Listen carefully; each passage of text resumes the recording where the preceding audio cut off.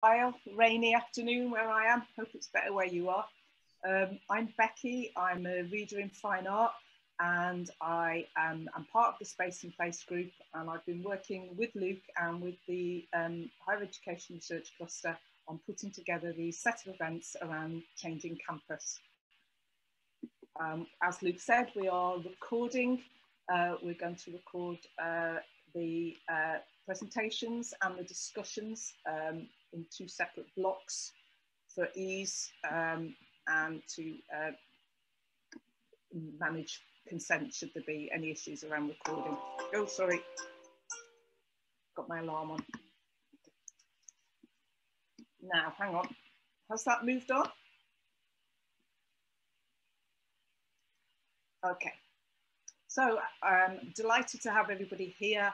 Um, our speakers today uh, are Hiral Patel uh, from Cardiff, talking about align aligning learning space, learning and space, as uh, Layla, uh, Layla Garib and James from SHU talking about uh, part of the furniture and design studio.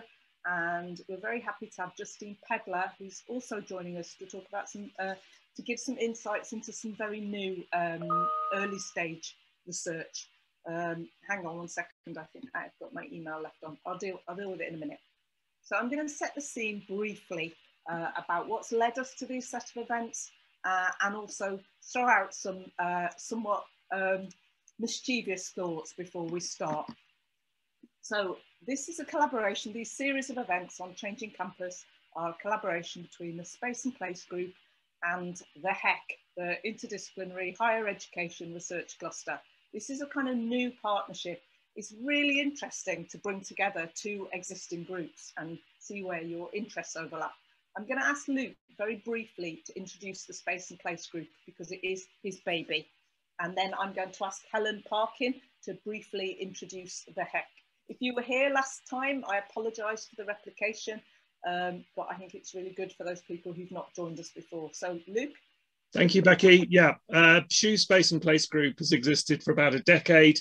It's a very loose um, federation of uh, fellow souls uh, who um, come together to discuss different ways of researching space and place, often from a sort of qualitative and uh, artsy uh, perspective, but not exclusively so. All are welcome to contribute. People tend to contribute on a revolving door basis. Each year we choose a theme, uh, and this year's theme is changing places. Uh, and we've developed this sub theme of the changing campus. Um, uh, and getting quite a bit of good traction on that. Uh, I will say, because it seems opportune to mention it now, that we have in, in prospect or in plan um, a third Changing Campus event, probably in May, uh, Carol Taylor, who was due to be one of the keynote speakers today um, from University of Bath, is not able to join us today, but we hope to get her along in May. And we have a couple of other um, speakers um, also uh, being lined up who are interested in joining a third iteration of this particular strand of the Changing uh, Places theme. So uh, back to you, Becky. Um, have I just lost my screen? Uh, you've gone out of presenter mode and you're oh, now in... Uh, I'll just faffing with my email to make it stop. Apologies. So, um, Helen, would you like to introduce the Higher Education Research Cluster for us? Yeah, thanks, Becky and Luke. Um, so the Higher Educa Education Research and Practice Cluster is a fairly recently established group um, open to anyone across the university with an interest in uh, higher education research or practice.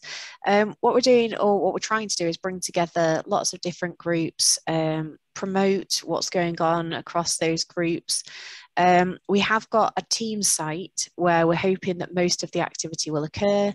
Um, so uh, the Space and Place group has their own section within the team site. There's lots of different uh, groups that we've got set up. So we've got a reading group, we've got a peer review group. Um, there's space for people to discuss student engagement, uh, higher education policy and practice. So lots and lots of different things going on, all under this umbrella. It's not particularly owned or run by any area of the university, but we do have a very small amount of administrative support in CETL, which is student, the Directorate of Student Experience Teaching and Learning. So um, if you are interested in being involved in the group, um, please do email us. There is uh, an email address which is quite complicated. Uh, exclamation mark interdisciplinary higher education research and practice cluster. Um, so uh, I think if you do exclamation mark and interdisciplinary, you'll find us. Um, so yeah, please uh, feel free to email us and we'll add you to the group so that you can find out what we're doing. Thank you so much, Helen. So last week, sorry, last session, Luke, I, would screen grabbed this from Luke cheekily. So Luke's crazy face is stuck there at the top. Um, quite amused me. Um, Luke began the series of Changing Places events with uh, talking, framing it around Lefebvre's uh, spatial triad. Some of you remember this and the conceived space of the university, the way it kind of imagines itself and communicates itself, the perceived space, the interpretations of staff and students, and the lived space, the actual in inhabitants of that space. And I'm particularly interested in these sessions in looking at that third one. However, before we go there, one of the th problems, I, I'm quite a fan of Lefebvre's spatial triad, except it doesn't account for the fact um, it's all about how we are perceiving and living and conceiving. Um, obviously, humans are fairly more active than your average sofa or chair, although James might well disagree with me, and Layla. However, what, what Lefebvre's spatial triad doesn't account for is space talking back or materials talking back. And I'm using talking kind of broadly here, and not everything is obviously about verbal language. Um, but it, it, it, connects up with a whole group of um, ways that space might be communicating back to us. And I'm kind of muddling space and material and object here because I think we, we, when we think about particular spaces, we're often talking about the things that are in those spaces or their placeness. But yeah, space, community, the things that we find, it's not all about how we define them. Sometimes there's a fair amount of um, uh, interrelating back. And obviously this has become a really, really extensively theorized area of work that draws together, um, I guess, oh, hang on, I guess we'll get to them in a minute, that gets at um, uh, affect theory and um, uh, kind of interaction theory, actor network theory, um, process theory. There's a whole realm of stuff that has kind of come with a huge force in the last 20 years or so that looks at the way the material world speaks back to us. Um, but there's lots of different nooks and crannies of that. And, I, I, you know, I'm, I'm not a theoretician, I'm a practitioner, so I'm going to um, slip the noose of, being, of offering you a, um, an extensive characterization of that theoretical terrain because it's huge right now. Um, but um, so I just want to talk about some ways that things talk back, just to frame it before we lead into the um, the presentation. So my some of my my favourite uh, ways to think about how things and materials and spaces talk back to us is to think about these people who are, of course, Dr. Seuss's Thing One and Thing Two and it's like Dr. Seuss. Um, you know, he was the champion. He he saw all affect theory and interaction theory coming and got there before it. Um, thing one and two, peculiar, non-human, non-animal, don't know what they are, entities that kind of disorder everything and mess with all the ideas and orderly things that we might want to do with the world and run around and stop us grabbing them. Um, and they um, they're, they're kind of great, great champions, I think. Um, another version of, uh, instead of giving you text slides, I'm giving you image slides. So uh, The Blob, uh, a film that terrified me more than any other film as I was a child. The fantastic thing about The Blob is that many of you will not remember it or even heard of it.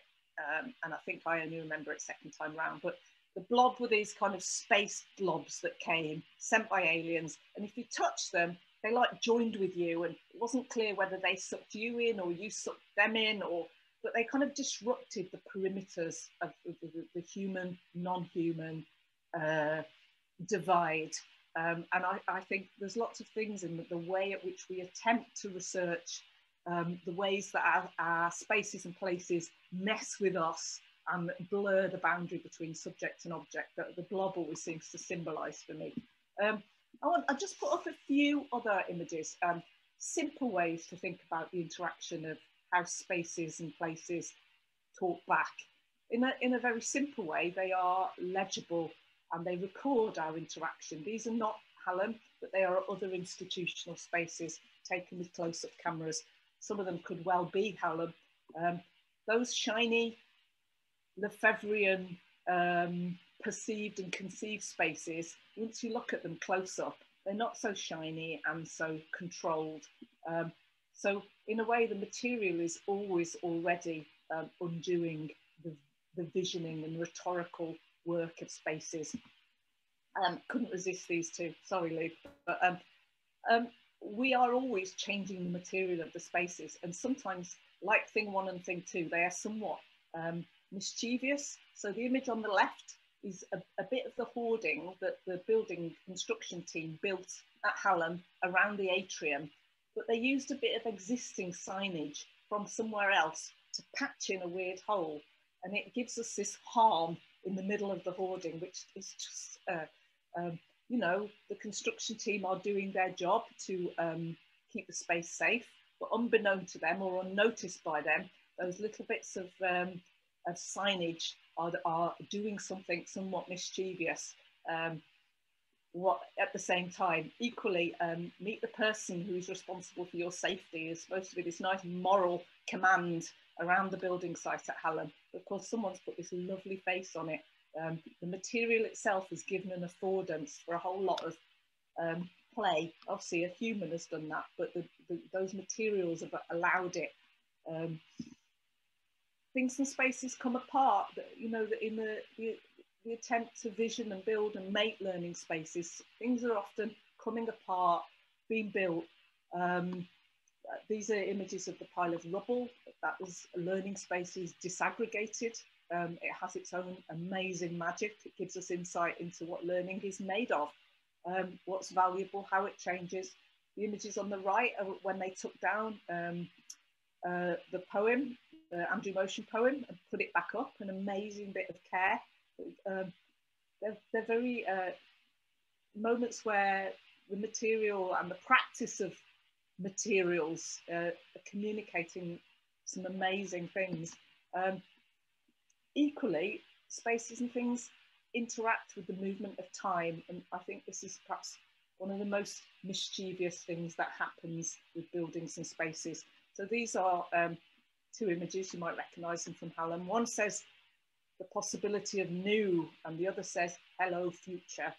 Um, now already these things, it's arguable whether they ever conveyed the future, but now with a whole different set of structures of feeling around them, the, the spirit of the time, they start to mean different things altogether.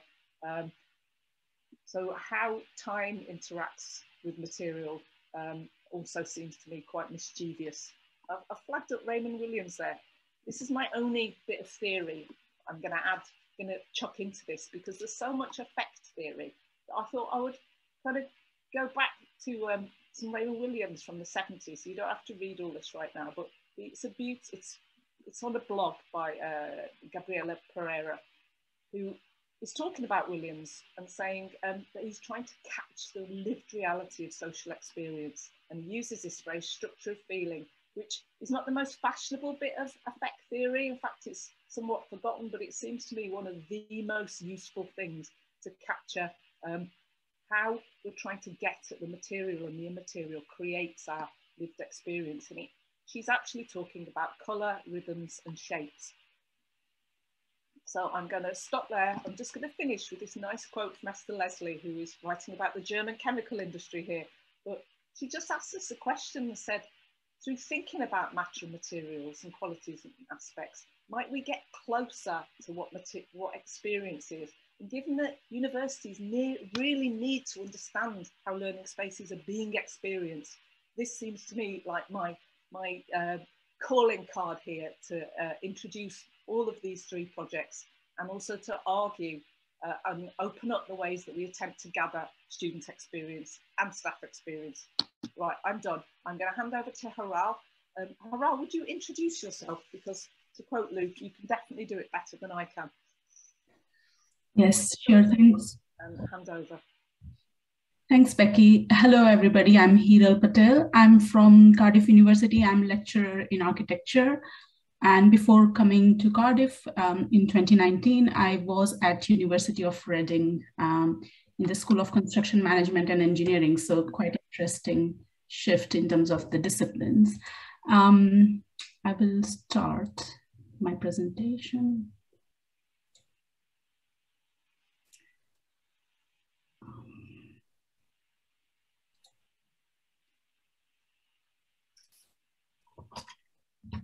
I've, uh, I've also put in the chat uh, a link to Padlet. I thought that would be quite nice to capture your reactions and reflections as I go along. Um, and yeah, uh, it, it, would be a good sort of tangible outcome from from from this event. Um, I hope you're seeing the slideshow. Uh, yes. Okay. Great. Yes. Okay. So um, yes, I, let me see if I can move this thing. Okay. So I started off my my sort of journey in academia in 2012. Uh, before that, I was a project manager. Uh, and before that, I was an architect. Uh, I was practicing as, as an architect. I'm still probably am an architect.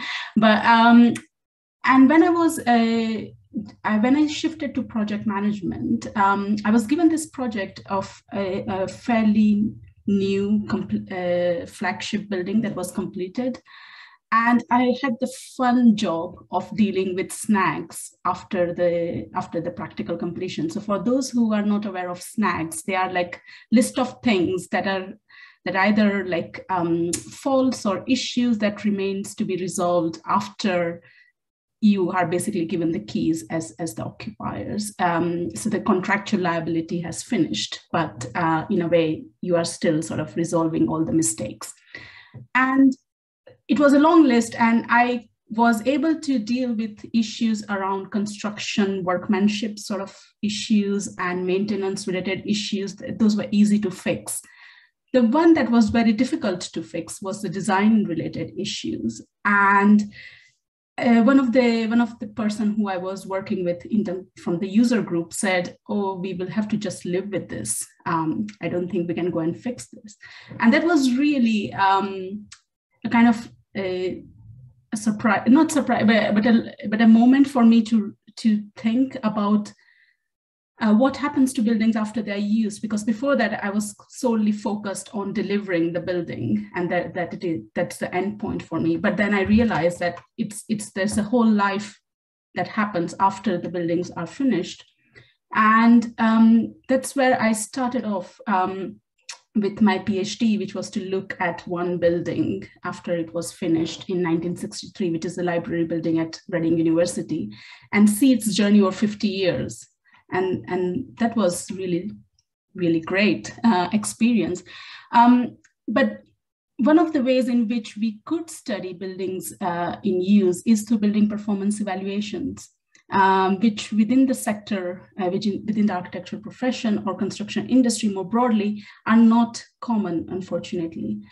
Um, this is a this is a report uh, from 2017, so it's slightly dated, but I don't think the picture would have changed drastically, but it says only 9% of architectural practices offered post-occupancy evaluation as a service. So there's real gap in terms of the capability and, and the skills.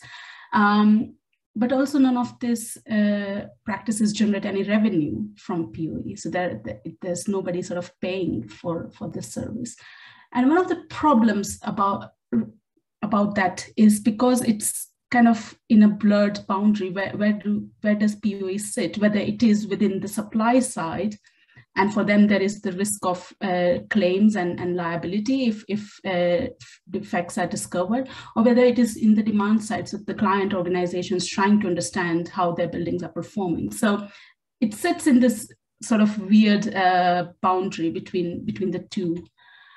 And there's also issues around procurement and, and PI insurance. Um, and this might sound really sort of untheoretical, but going back to Becky's uh, kind of um, statement she made that she's a practitioner and not theoretician, I think it's it's kind of uh, both inform each other. And there are there are serious issues around how we are procuring buildings. Are we procuring them as fixed objects, or are we procuring them as as a more sort of outcomes and performance? Um, so that, and and there's also sort of more theoretical challenge here because the knowledge about how buildings are used is distributed between different academic disciplines. And so we really need to bring that that sort of different disciplinary perspectives into, into discussions with, with each other. Um, but fundamentally, the, the, one of the problems with current practice of post-occupancy evaluation is that of environmental determinism. A lot of approaches to post-occupancy evaluation uh, are looking at firstly buildings as this fixed, unmutable objects, uh, as technical objects, and they exaggerate the influence of physical environment um, by saying um, space will define how you behave in, in a particular particular yeah or the or the architecture will define how you behave. Um, it focuses on direct effects of behavior on behavior which can be observed um, and people are often thought of as passive um, now this is kind of quite contrast with what Becky was saying, but I'll, I'll come back to, to her, um, her comment around buildings having, having agency. Um, so, so in terms of critiquing POE, uh, post-occupancy evaluation, the, this is the contribution that that I sort of made from my uh, PhD is, is to really think about buildings as not fixed objects, but as socio-material practices. And by considering them as socio-material practices, we are giving agency to both the material objects as well as, as to people. And it's, it's sort of, um, it's sort of agency is negotiated. Um, and this draws from Annemarie Mol's work, uh, which has influences from actor network theory, but she has uh, she has not uh, said that she is kind of within that camp. So it's slightly slightly different than actor network theory.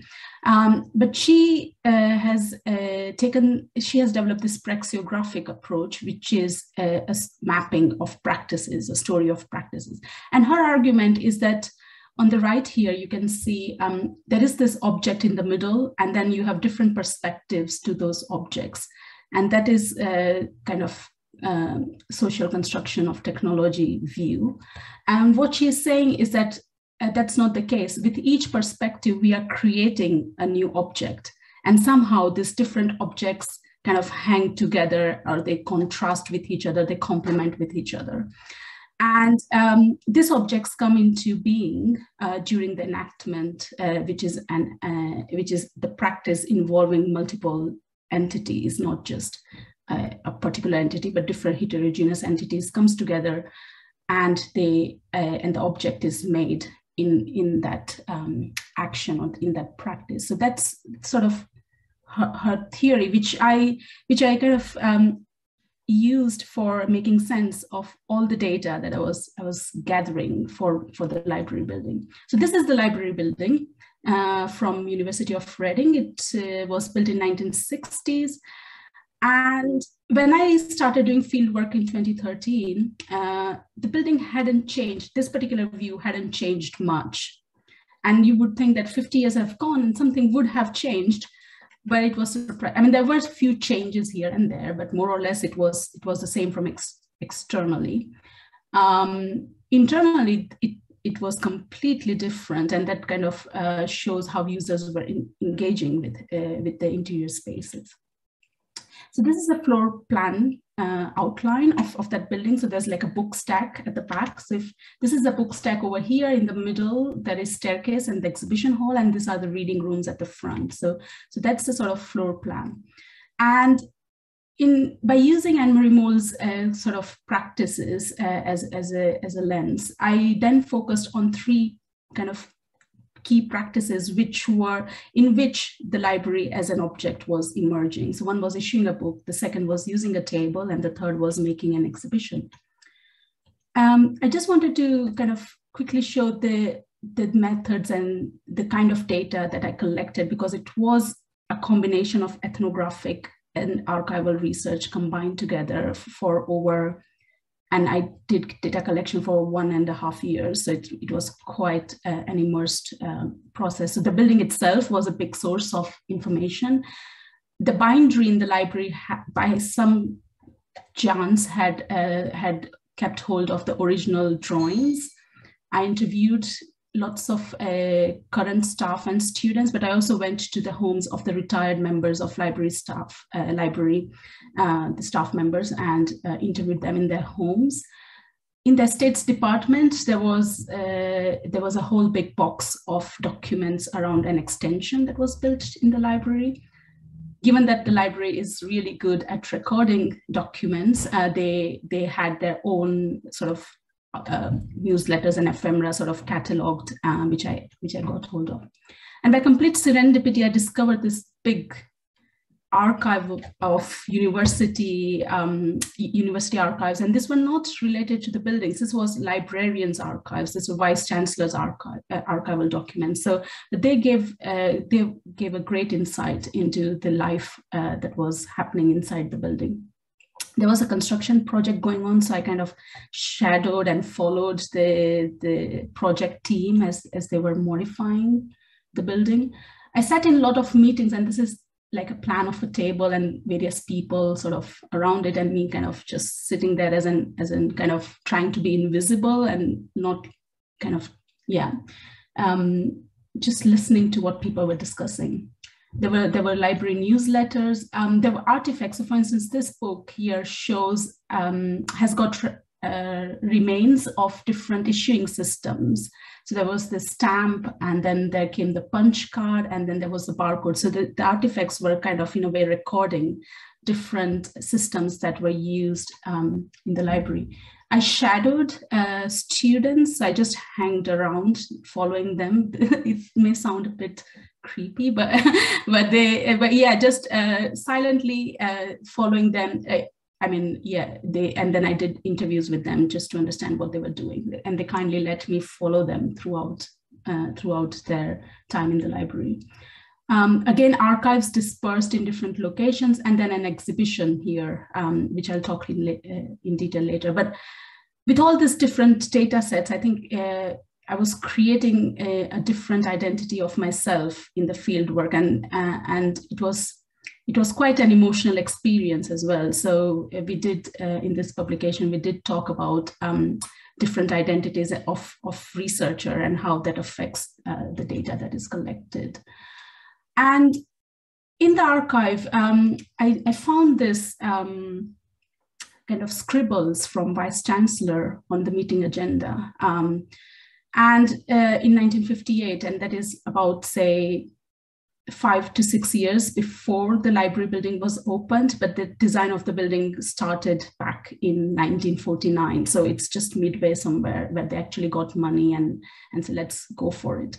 Um, and this, the discussion is what is what is the library? Is it is it a bookstore or is it a reading room? How many readers do we need? How many books do we need? And are they all kind of silent seated people or are they kind of undergraduate students? So this kind of tension between what or what is a library the ontological question was kind of bothering them then. And i think that same question is still kind of very re relevant and continuous uh, continuously being asked as to what is a library. Um, and here we can see the two merging because it's it's quite interesting the shelf and, and the desk kind of coming together. And and I thought this was really interesting representation of uh, merging the bookstore and the reading room. Um, but in my in my data, what I found is that library was not one thing; uh, it was multiple. So it's a book stack, reading rooms, workplace for staff, cafe, a statistic in the annual report, uh, a score on National Student Survey, a venue for exhibitions, um, an itinerary on the open day tour, um, it was I also found some photographs where students did graffiti and um, was a was a place for them to protest and, and demonstrate. Um, and then after 50 years, uh, suddenly it becomes a site of heritage and, and uh, we need to preserve the, the heritage. Um, and also it's, it's square meters recorded on the university space management database. So there is always this tension going on between these different versions of the, of the library.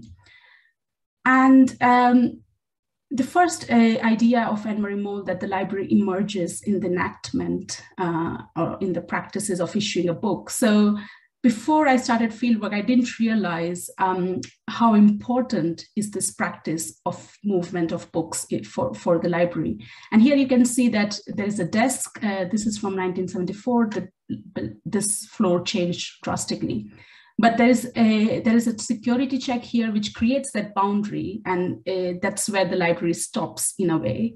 Um, and uh, it is it is to monitor the movement of books and things like slips and cards and stamps and all of those come together along with these glass screens and desks and the building to create what uh, what a library is so, so in a way, a library is an enactment of, of different uh, heterogeneous entities coming together. But it is the physical book and the physical building also enacts the users uh, in a way. So this is a book from my supervisor, my PhD supervisor, Will Hughes. And this book is available as a physical book on the shelf in the library, and it is available as an ebook. If you are a member of public within certain periods of the year, you can go to the shelf and you can access the physical book and read it. If uh, if you if you if that book is doesn't exist and then you have to go to ebook, but then ebook is only restricted to members of Re University of Reading. So by having a book on the shelf, it allows members of public to just go and access that that knowledge and it's it, the materiality does play a role in in the in enacting who the users are. Um, the second uh, enactment that I studied was using a table and I was, um, I was pleasantly surprised by this humble table, which had survived 50 years, uh, while the whole building was kind of moved and extended and, and the floors were ripped, ripped off and, and all, all the other changes happening. And the, the table was uh, kind of adapted slightly. So you can see a small hole here, which is to uh, put a lock around your laptop. So that wasn't the case in 1960s, but in, in 2014. And, the, and then there are sockets here on the, on the kind of um, the sill of the window. And that is to provide power for, for laptops uh, that are on the table. Um, and what was observed is that students uh, would, if one student is sitting here, others don't feel comfortable to come and sit on just opposite them. And um, the occupancy or the utilization was, was kind of uh, lower. And so they added this divider here and retopped the, the, the, table and added a lamp just to improve the lighting. And, and the table sort of continues, continues to live on. And in my observations of, of using that table, I, I drew uh, from, from Goffman in terms of how, um, how different territories are created, uh, which some of which involve the material sort of material objects and material things, but others are more sort of um, personal space. So you just don't want to sit facing directly a stranger. You, you're okay to sit side by side, but not directly facing with each other. And we can see all of these different territories in play uh, when somebody is using that, that table. But the table is also a, a sort of a fire object. Um, and in a way, a table in the library is connected to the student's room or the student's accommodation. And um, when I was interviewing users, what they told me was that it, the space on the table is sort of um, something that they don't have a clear space, a clear desk. It's something they don't have in their room because there's always things on top of it. So, so that's why it's it's quite valuable for them. The lighting is is very good, and there are other people uh, there who motivate them, um, which are not there in their accommodation. There's no bed to distract them and, and making them go to sleep. There's no food and drink to distract them, then no YouTube. And other people make sure that you don't watch YouTube or TV when you are in the library because they, they are sort of uh, keeping a check on you. So the absence uh, of, of this uh, these things um, in the accommodation is what makes the table more durable because this is still in demand and very much used. Um, and then comes to the exhibition or exhibiting in the library, the third enactment. And that's where we can really see the ontological politics of what a library is playing out. So in 1960s, when the library opened, there was a whole uh, program of exciting exhibitions, uh, often conducted in collaboration with staff and students. It's part of their learning experience. Um, and Beckett Collection, which some of you might know, uh, is, is quite uh, kind of emerged, a quite prominent collection. It emer uh, emerged from one of these exhibitions in the library, so uh, the Samuel Beckett collection. Um, but over time, because what is a library? Is it a place for storing books and studying? So that's what took over this space, and you can see sort of desk and shelves coming in. And then when the, there are more ebooks now available and there are offsite stores and there's uh, there's collaboration between different libraries to to discard some of the books and just store a copy in, in the central british library repository that all meant that the number of books in the building could be reduced and we could have that uh, space uh, again as an exhibition hall. However, just having that space is not enough. We still need to have uh, funding for staff members and students to come together and curate exhibitions. So it still needs um, um, sort of organizational support to, to do that. And um, uh, during the fieldwork, I got a chance to curate 50 years of library in the library on 50th anniversary of the library, which was quite exciting.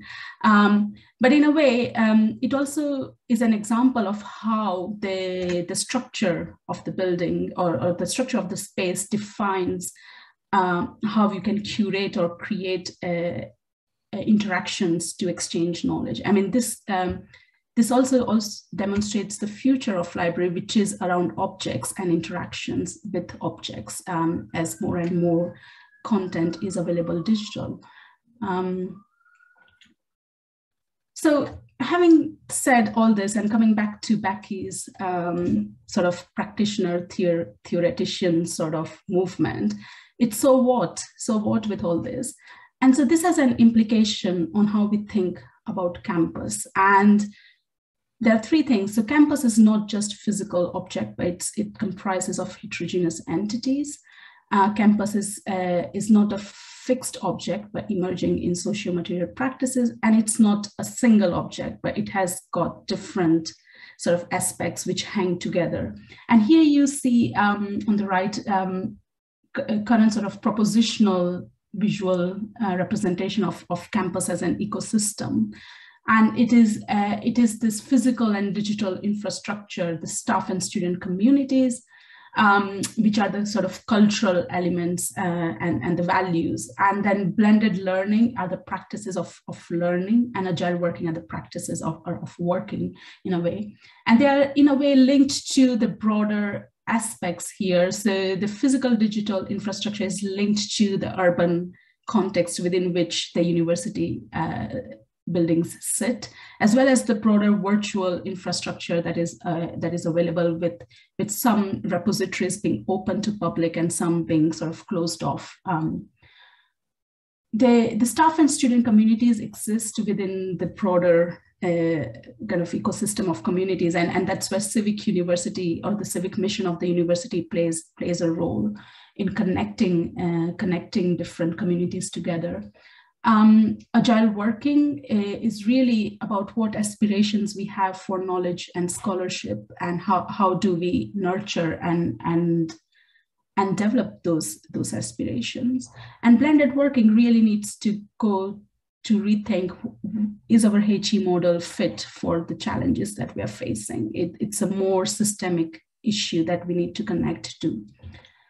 Um, and I sort of am keen to operate between on the threshold of theory and practice because for me both are important and mutually sort of um, enriching each other. And so one of the uh, projects that I was involved in was uh, horizon scanning of future research, uh, future research themes for higher education design quality forum. So identifying where there are knowledge gaps and trying to sort of um, identify those, those areas. And we had we had observed six themes. One was a higher education uh, models in the UK and how they need to change probably impact of AI and robotics on, uh, on learning methods. Um, although this uh, shift from teaching to learning sounds dated, but we haven't really achieved that uh, in terms of student-centered learning. So, so we just, I just kind of added that theme because we really need to go, go into that. Um, what new learning modes and methods might emerge uh, and diversity within HE sector. This is yes, um, diversity of students, but also diversity of disciplines and diversity of different institutions, because not each, all institutions are same, they, they are uh, different. And lastly, but very important is how we value higher education and, and then by implication, its, its physical spaces. Um, again to coming back to theory and practice uh, the method we used to for this project was engage scholarship uh, which is to get together uh, practitioners uh, and uh, and sort of um, people who are kind of thought leaders and researchers together to shape those themes. Um, and uh, these are these are the photographs from our events uh, that we ran, but we we used various engagement methods to to create those themes. Um, I've also been recently doing a, a, a, survey around aligning learning and space. And this survey, the purpose of this survey was to identify what capabilities exist um, within current within our sector to align learning and space and what processes exist. Um, and this comes from the HEDQF uh, report because we found that there, there was a gap in, in terms of aligning learning with space. And what we found, uh, well, this is not representative at all, um, but uh, what we found was that capabilities are distributed within an institution and hence active effort needs to be done to bring them together. Um, and capabilities for alignment neither exist in a state's department or education development unit. So we need to really find a place for those capabilities. Um, while there is some provision to align learning and space for academics, there was almost nothing for a state's department, which was uh, quite concerning. And um, while curriculum is constantly evolving and the processes around aligning learning and space happens when there are new buildings uh, being designed or refurbishment projects happening or when, when new programs are being approved. It's not a business as usual activity which goes on alongside curriculum reviews um, on an ongoing basis. So to kind of um, respond to this challenge, I have been uh, developing a framework, learning space aligner tool, uh, which brings together five views of curriculum, the one that's in the handbook, the one enacted in the class, the ex one experienced by students. These two have been added um, more recently as experienced by prospective students and alumni once they graduate from the program. And it uses service design concepts to, to really have a forum for discussion around what are our current uh, teaching and learning practices and how can we, um, how can we, or where we want to go next, where do we want to go in the future. And it brings together a kind of virtual and physical infrastructure in discussion as well. So I'm currently uh, seeking pilot projects. So if uh, SHU is interested or if you know of other uh, other projects that might be interested in this, uh, more than welcome to, to get in touch. I've been setting up this repository. Uh, in a way, it's, it's kind of a network, but a knowledge learning network uh, with some resources, but people kind of getting together and, and really pushing uh, the agenda for, uh, for collecting knowledge around the university spaces. And um, there, there are like podcasts um, which, which you can look at. Uh, well, we have started putting together some case studies. Um, we've got about five, but we have created a template which we think can be used to compare different case studies. So again, um, I'm hoping that we can develop that um, in future. Um, and Leader Lab is, is a master's in architecture design course, uh, and um, th that is kind of quite key in in kind of testing some of these ideas and and um, and pushing them forward. And these are the overview of student projects uh, from the Leader Lab. Um, some students are looking at the fifth generation learning spaces, kind of quite advanced in terms of the fusion between the physical and the virtual. Um, on the other hand, uh, some students are looking at civic university and taking a network approach to the HE model and what, what would that mean. Uh, also biodiversity um, and, and how do we how do we connect human uh, and nature and, and kind of on, on campus.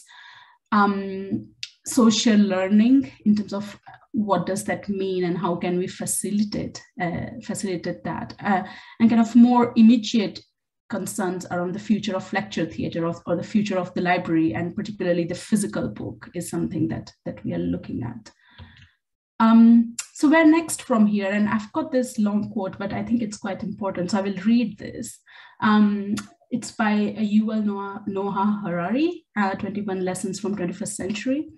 Uh, and he says, the Industrial Revolution has bequeathed us the production line theory of education. In the middle of the town, there is a large concrete building divided into many identical rooms, each room equipped with rows of desks and chairs. At the sound of a bell, you go to one of these rooms together with 30 other kids who were all born the same year as you. Every hour, some grown-up walks in and starts uh, and starts talking. They are all paid to do so by the government. One of them tells you about the shape of the Oh, Okay, I'll go slow. One of them tells you about the shape of the earth, another tells you about the human past, and a third tells you about the human body. It is easy to laugh at this model, and almost everybody agrees that no matter its past achievements, it is now bankrupt. But so far, we haven't created a viable alternative. So hopefully, uh, through discussions like the ones that we are having now, we can um, we can push uh, some of the push this agenda forward uh, and really rethink uh, from inside out uh, from from the spaces to the, the HE model. Um, thank you. Thank you so much, Hiral. That was absolutely brilliant. Um, I think I um, grinned my face off all the way through it. Um, thank you. I'm just checking the questions. Um, we're going to have uh, a short 10 minutes for questions max. Um, and then, um, you know, hopefully we can have a bit of time to pull some, to pull together some questions. I'm just looking, we've got a question from Lukeman there that I will bring in in a second. Um, just wave if you've got a question. Um, I, I, I had one that you kind of anticipated that I, mean, just as you were saying, you used the slide business as usual. That was exactly what was on my lips. And I, I, um, I really um, was taken by how well you constructed this sort of um, multiple object. And I, you know, I, I haven't seen Amaral Annemarie Mol applied like that. I, I really fascinated by its application to building from from body, if you like. Um, but that kind of sense of a building as a sort of multiple object with many, many different objects wrapped in it. When you come, what, what, you know, I can see that you're like really clear sighting, sightedly trying to um, speak, to kind of adapt what you know of this into a kind of, to be, a, um, to make tools that can speak to the way the university is constructing the object of the learning space. But I, I just wonder, um, you know, what's lost in doing that? Um, you know, it's, it's a, it's a, a really important maneuver, but also a slightly painful one. Um, I, I'm, if you may, I might just frame it as uh, rather than lost in doing that, I think I'm getting more enriched by doing that in a way. Um, because um, I think practice uh, is messy, uh, but practice is full of opportunities. And I see it in, in that way is um, what is a, because I, I have this practitioner background, um, always kind of inclined to think uh, in terms of what is lost, uh, uh, what is sort of um, what I'm doing can be applied.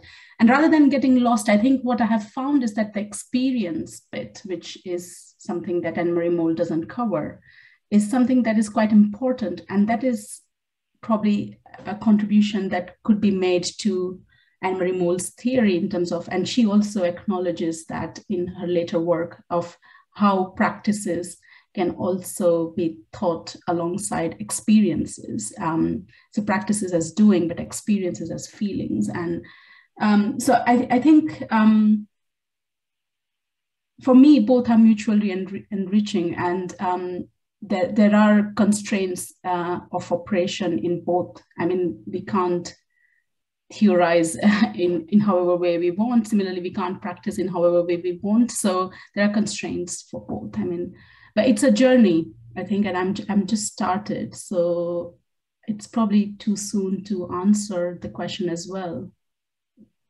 thank you um, i'm going to bring Lukman in uh, there's a question there from Lukman there's, there's a whole load of points as well that are really interesting here um, but I can see a clear question from Lukman and a question from James. Um, oh, yeah, uh, some great points as well that I wouldn't want you to miss. But um, Lukman, are you there? Do you want to ask your question?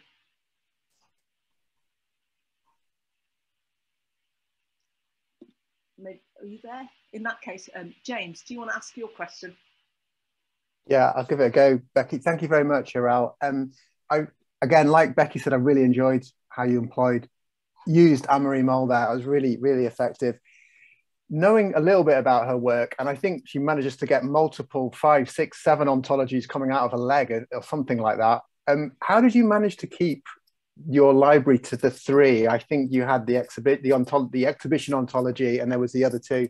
How did I'm kind of interested as a researcher? How did you stop that becoming tons and tons of ontologies, which libraries could do, I guess? Yes, and that goes back to the painful process that Becky was saying. And it's it's a constraint of theorizing theorizing as well. So it was a really messy difficult process of not sure what to do with all the data i've collected over one and a half years. And like uh, Annemarie Mol says it's it's politics of which realities are being prioritized over others. It's similarly applied in my research. I prioritized the ontologies for which i had data I mean, I could uh, go on for another six, seven years and get data for other ontologies, but that was the reality of it, and that, that's the constraint. So, so prioritization based on the data that was available, both in terms of ethnographic access, but also survival in archives. Um, so, so that's uh, that's the thing, um, and it was uh, it was kind of my own interests as well. Um, and yeah it, it is completely biased and sort of opportunistic in that way that that this um, i def, i purposefully select so book and uh, reading room were there from the beginning because i had lots of data i purposefully went for exhibitions as an activist to a certain extent because i was really sad to see the practice of exhibition dying and so i said i need to add a chapter to make sure that this is being given attention. So again, it was biased in that way, in, in driving my own agenda um, agenda here. Thank you. I'm going to bring in Lukman, and then I'm going to. I can see a question from Jim, and then we're going to move on. So apologies if I've missed anybody else. Hi. Uh, thank you very much for the presentation. Uh, so, talking about the access and the secured place, uh, you made mention of how uh, when student comes to the library, you know, they have this security post that afterwards, you know, to make sure that you are not taking something out. But something quite interesting that I did a research, uh, a quite simple research back in uh, Sheffield Hallam University, where how do you kind of find the link between creating the same access and security and also trying to prevent materials that are very important for students from getting it. For instance, you, you, you go to the library and there is this uh, kind of place secured, which is not, you know, open for the public or even to access it, you need a security clearance. So how did you find a link between that? I think they are quite interlinked because if you have the materials secured, then in a way that would be useful for, for public and students. Um, when I was uh, interviewing the librarians, I found a lot of interesting creative ways in which books were stolen. Uh, and I, I don't want to spread those practices, but um, it, it is really interesting how um, creative people can get to overcome that boundary that the library was trying to protect some so so but uh, but, but yeah in, in a way it's um the, I think the bigger issue here is um, whether the library is for staff and students of the university or whether it is for the public. And a lot of libraries have got a, a prioritization, rightly so, that our first audience is staff and students, and these are the communities we are going to prioritize. Um, however, um, the, the, the, there are certain departments within library, like special collection and archives, are, are really open and focused towards engaging with public. So again, a library is quite heterogeneous in that sense. Uh, so it would want to protect its study spaces and key textbooks for students so that they can access it during exam times uh, when the, there is high demand for that. But then equally, there are uh, aspects of libraries which are kind of outward facing and uh, want to engage with the public. So in a way, it's, it's kind of um, a, contradiction and very much aligned with Annemarie Mol that different versions of the library sort of hang together or con contrast with each other and it's a negotiation and it's it's kind of um, a, a, politics in a way of which version is being leveraged at what time. Um, yeah. I don't know luke if if this uh, uh, an answer. yes.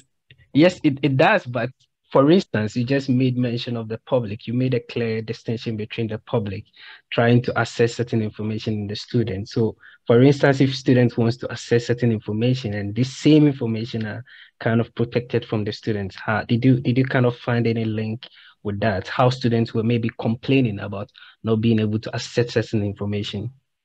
No, I didn't uh, find any of that, to be honest, in my in my work. Um, all the students were fairly happy with online access if that's what fitted with their routines and their, their discipline. And um, I mean, students were, rather than I think access to information, it was access to space, which, which is what they complained about, is that there were times during the year when you can't, cannot find a study desk. So that was more of a concern. But in terms of books, I, I didn't, I don't recall any any of my participants sort of uh, being unsatisfied. Thank you.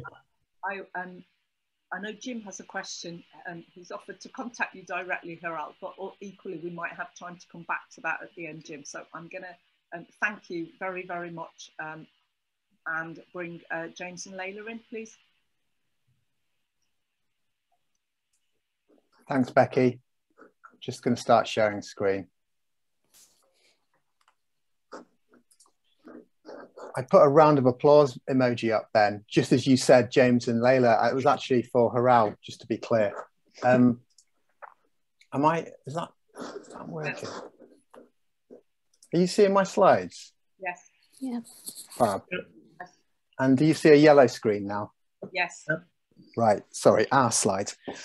Um, welcome, folks. Thank you very much for coming. Welcome to Part of the Furniture. Um, I'm, well, thank you to Becky and to Luke for inviting us, and to Hiral for um, for a, for a great presentation just then.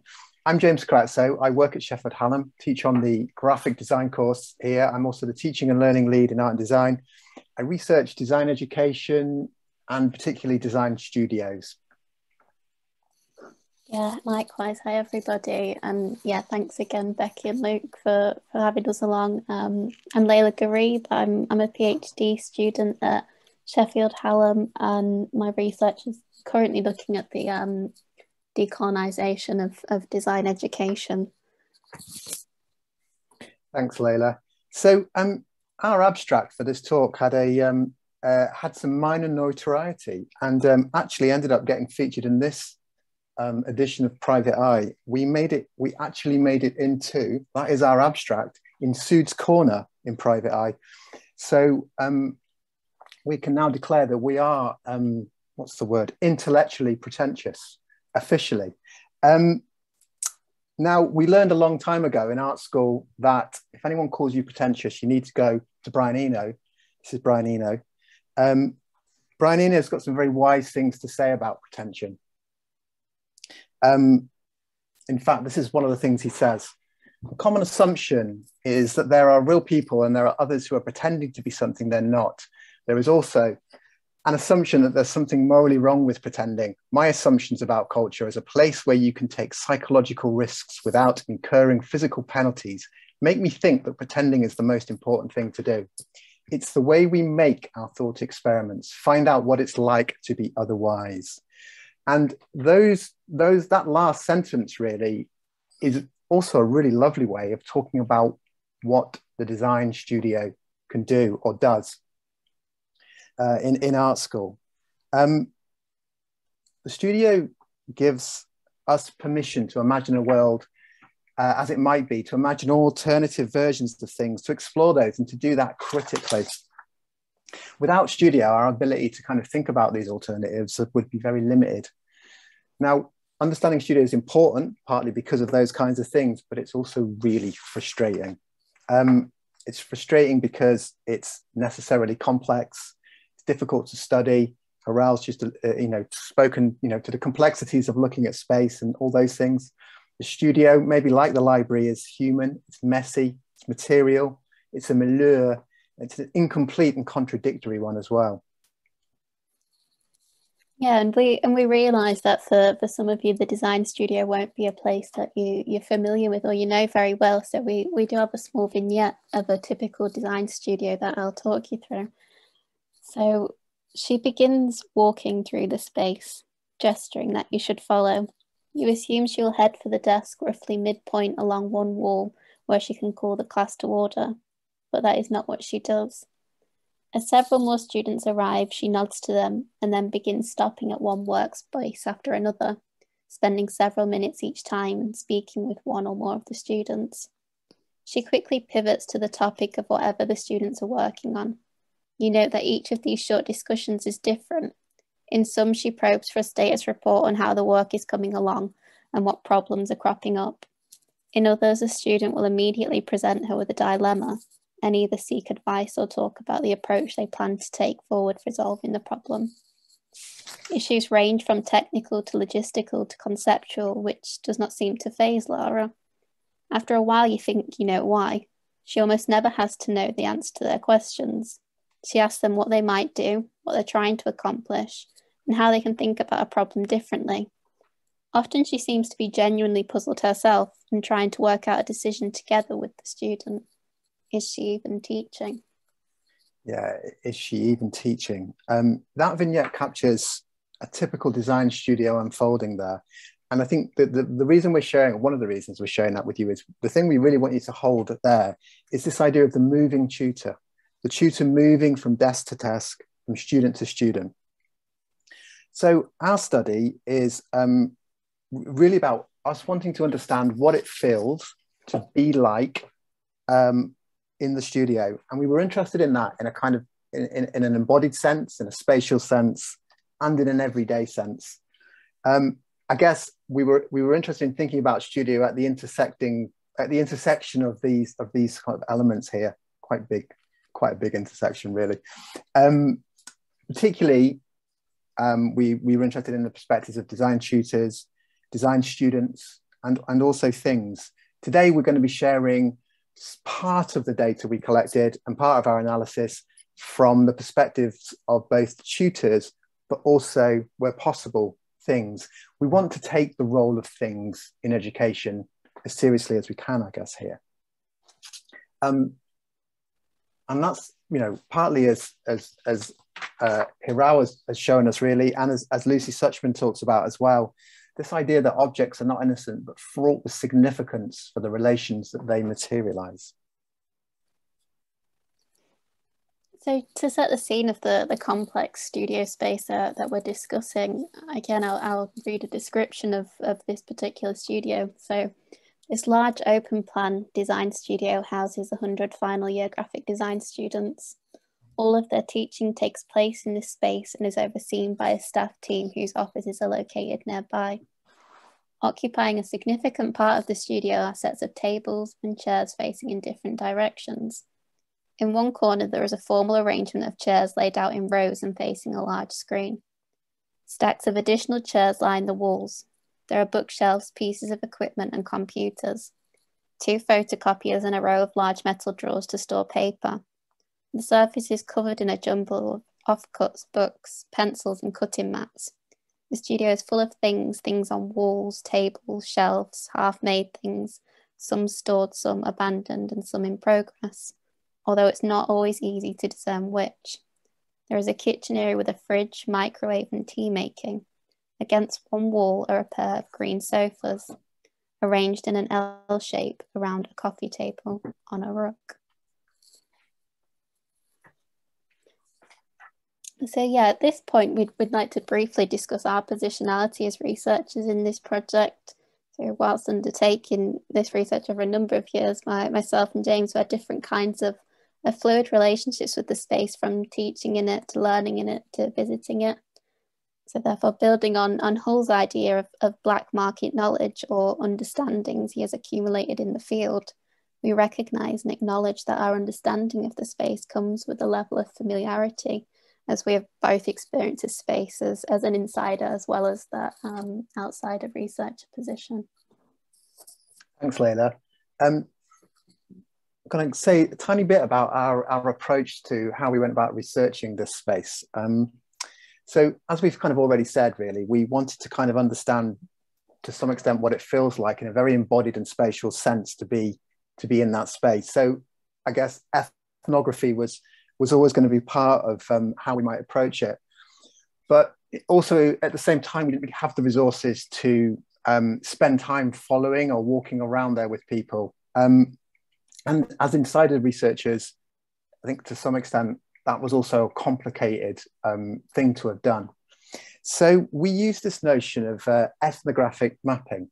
Um, so just to say a little bit about that. Um, practically, what happened was that we interviewed five tutors. Um, we interviewed them at the end of a teaching day in the space that they'd been teaching. Um, and they were given a large sheet of paper and they were asked to map out the space in the first instance.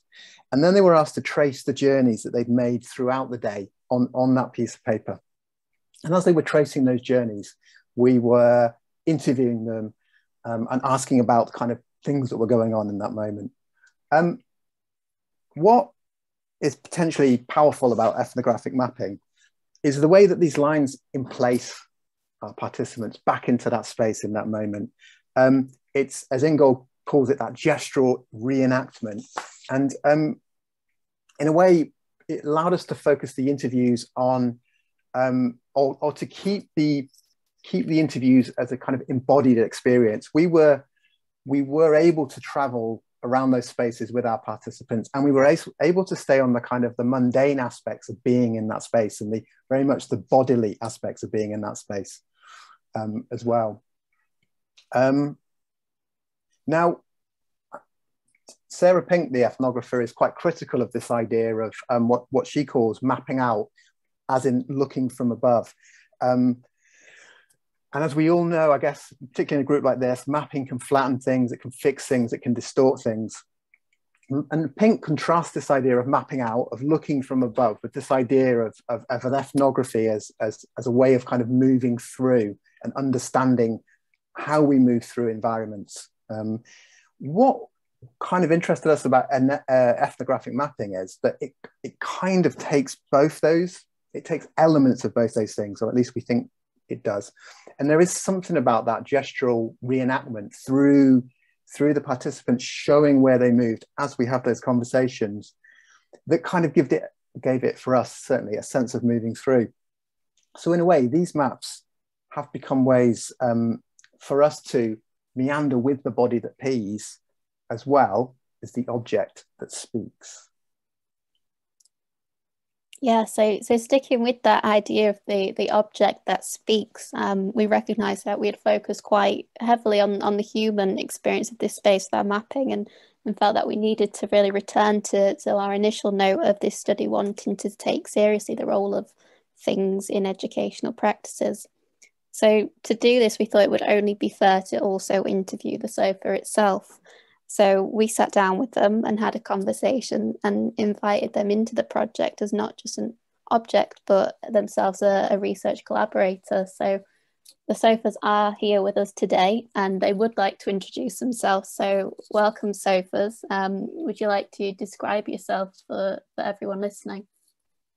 Well, it's a tricky question. I don't get a chance to look at myself very often, but I'm pretty geometric. I'm pretty rigid as well. I have this sort of slightly corporate lime green, mid-grey fabric. I'm kinda a 2 slash 8 person sofa and I weigh a lot. I've been sat on by a lot of people over the past 5 to 6 years.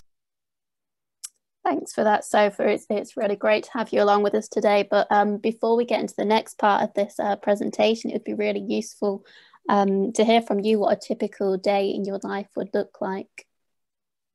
Obviously, I don't go anywhere. I can't move, I stay there so it's quiet a lot of the time. It's dark, then it's light. Perhaps on a typical day, around 8ish a member of staff might walk in or maybe a student might come in and take advantage of the quietness. I sit in this really big space. A typical day might begin with someone sat on me early on in the day, perhaps on their laptop. They are kind of waiting but they are also getting things done but they are also waiting. As it gets closer to 10 o'clock, usually things start at 10, that's when a lot more activity starts to happen. Some people come straight in and make a beeline for me and sit on me. They start chatting with each other, getting their laptops out, picking up books, mostly talking social things. There might be a few people organizing the room, straightening things out, somehow restructuring the space in a way. I don't really know why they're doing that. As we get really close to 10, it suddenly fills up really quickly and it's generally the tutor people who are sat on me at first and then lots of people come into the room.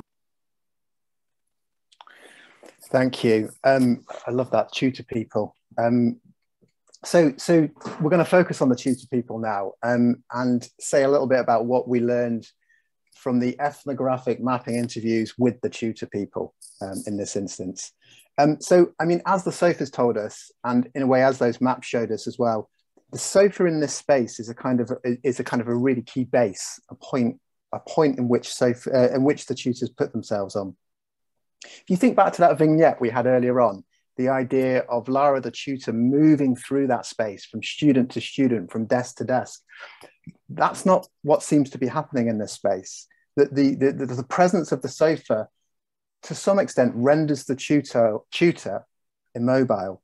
Um, however, we want to resist any notions here of any form of laziness you know, when we think about sofas, we can think about couch potatoes really, really quickly, but not here. And I think, you know, quite seriously, we we kind of want to emphasize this notion of a kind of an active form of sitting.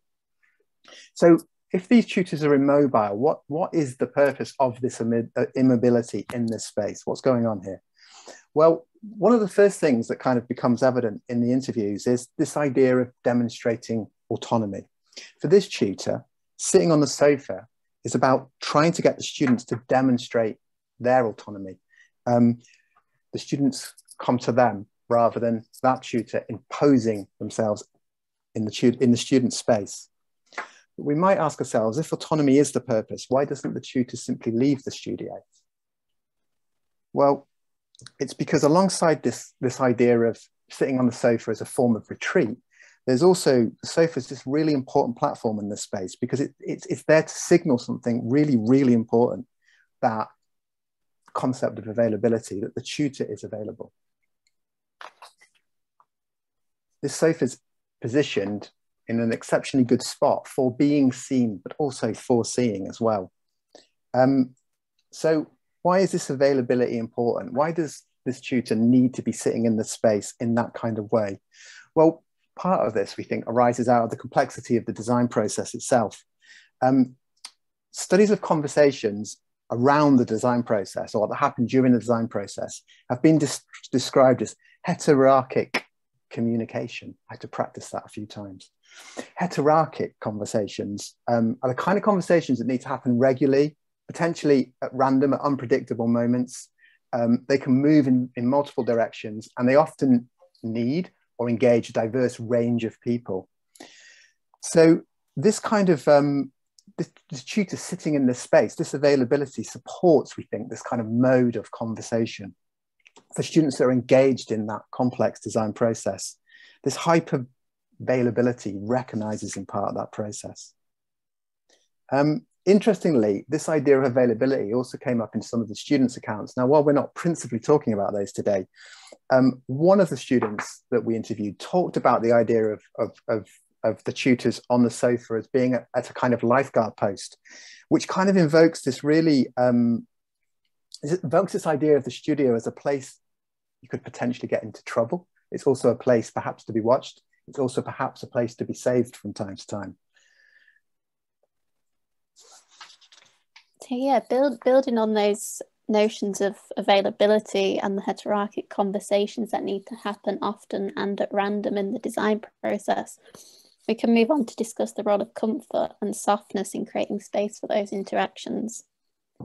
The design process is uncomfortable, particularly when learning. However, this unpredictability, this uncomfort of the process was somehow made comfy, or at least comfier by the sofa.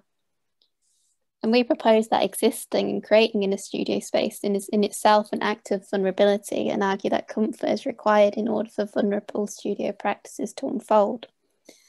And we begin to see this in, in tutors' accounts of the sofa space and how they allude to a level of ease that is felt by both tutor and student to have conversations where ideas and objects are, are shared and, and passed between. And uh, yeah, I guess that leads us into informality that, that's at play within the studio as a result of the the sofa's presence. So through comfort, we we arrive at the informal, and we found that informalities radiate in the studio. Um, partly because of the sofa and the way people interacted with with that as a space. So one account from a tutor spoke about the importance of, of conversations and informality and how they had felt they had missed out on a lot of those moments of, of conversation in their own education because of the typical um, distance relationship between educator and student. Um, and the sofa has a quite profound effect on, on those notions of distance and, you know, invites people closer into a more intimate setting and, and begins to create the space for, for different kinds of conversations. And it also becomes this space that's disconnected from evaluation this disconnect or, or this shift away from formal teaching allowed for more vulnerable conversations, more in process conversations to happen. There was a sense that the informatics created because of the sofa somehow allowed students to feel slightly less precious about sharing their work and ideas. So, building on the idea of the of loss of uh, preciousness and sharing, the sofa, unlike timetable tutorials, didn't form to any sort of schedule um, so perhaps the, the formal conversations or, or, the real teaching or the proper tutorial happened elsewhere, but um, the sofa's allowed for something else, something more informal, perhaps even something more real. And, you know, really our last point is, is around this notion of realness.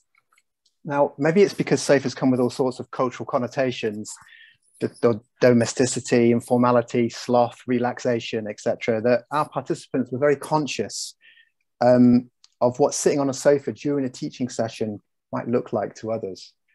Um, the sofa doesn't meet prescribed versions, or sitting on a sofa in a teaching session doesn't meet prescribed versions of teaching. It doesn't even do that in art and design teaching, um, generally speaking. Um, it doesn't look like real teaching, but we found in our participants this, this real conviction that the kind of exchanges that could happen in those spaces were in a way maybe somehow more real and somehow more authentic. Um, here, this tutor describes the idea of getting to the bottom of what somebody is about. um, and that somehow that that that is is the key for creative practice potentially. Um, we wonder really, we might say that the sofa here acts a little like Sherry Turkle's idea of the marginal object. the marginal objects draw attention to where the lines are drawn. Marginal objects kind of can uh, affirm lines and they can kind of um, they can call into question lines and the kind of lines that we want to call into question here or we think the, this kind of emerging study is showing us is the lines between what constitutes real teaching um, and, and not teaching the lines between action and inaction between formal and informal uh, between the cognitive tutor and the embodied tutor and the lines between learning as a product of something you do with people and learning as a product of something you do with things or in thing people relations as well. Yeah, thanks for that, James. So I guess now we'd just like to summarise the main points raised through through those findings. So firstly, we begin to see the work of the SOFA alongside the tutors to be an act of legitimising informality. So the SOFA materialised the possibility for informality, but there was a feel amongst the, SOFA and the tutors that there, there must be a, an element of resistance against any attempts for this informality to become officially subsumed. As an informal space, it cannot, by definition, become part of a formal repertoire of teaching because then it would cease to function as an informal encounter.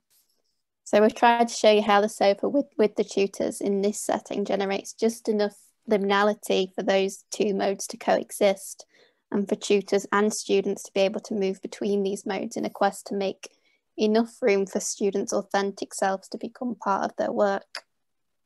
And through those informalities, the sofa and its radiating softness repattern teaching and learning. The typically mobile tutor becomes immobile as a result of the stationary sofa, providing the space in which autonomy must be demonstrated. Moreover, the once hard to find tutor living in an office somewhere becomes the hyper available tutor, always on the sofa. So, with that idea of hyper availability in mind, we also recognize the limitations of these informal encounters.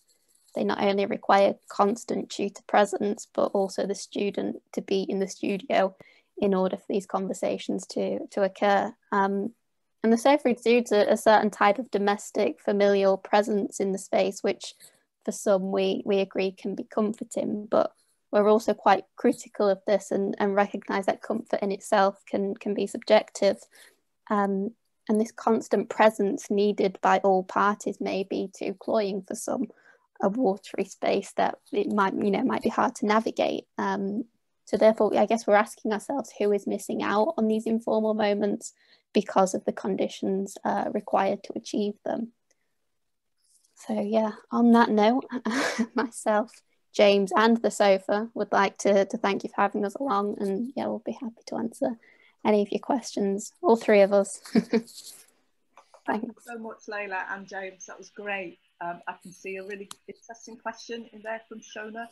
Um, I, I would like to ask first, uh, you touched on this at the end, Layla, um, so casualness or apparent casualness is a kind of code, isn't it, that can be kind of bohemian or, um, you know, a kind of performed uh, oppositionality or resistance.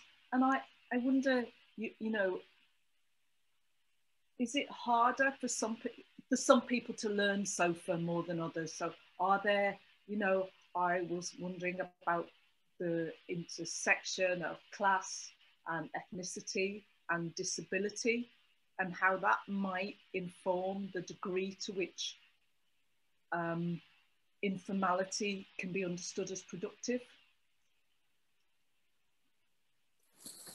Yeah, really, really interesting question. We, we've had some conversations um, about things like that and like, you know, the whole idea of comfort being subjective and informality being subjective as well, and the sofa in itself being quite a, a Western concept of, of an idea of comfort. So yeah, I guess those takeaway critical comments that we're starting to think about is is how is that space configured in a way, you know, whose identities are privileged in in those spaces and and how we can begin to think of that. But I don't know if you have any other comments, James. I mean, I think it's a really fair point. Just to, just to add a couple more things to that, and, and we weren't able to put it in here, but the sofa was used in very different kinds of ways at different times of the day. You know, sometimes there would be students sleeping on them, so there was different kinds of informal relationships that were taking place. I think the other thing, and I, I, hope it's come through, is is the work the staff were doing to use that.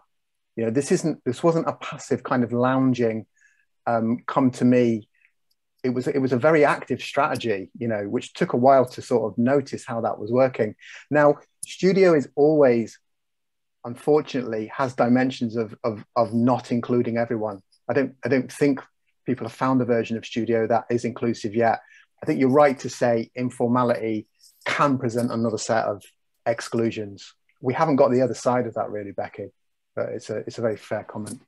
It, it, it wasn't an accusation. It was I was just interested in in in those contexts how how that change happens or um, you know yeah how do you learn SOFA if if there are I mean I was thinking particularly about um, in PGR my neck of the woods we have a lot of international students and they have um, really um, you know they hold us in a greater deal of performed respect than our um, you know, born British students do.